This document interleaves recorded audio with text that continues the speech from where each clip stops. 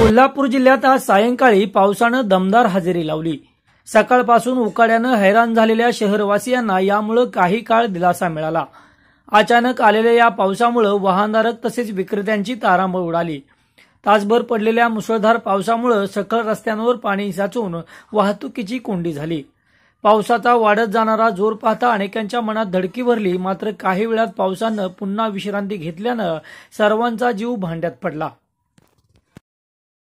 महत्त्वाच्या न्यूज अपडेटसाठी पाहत राहा. फ्रंट पेज न्यूज पोर्टल तसेच या चॅनलला लाईक करा सबस्क्राईब करा.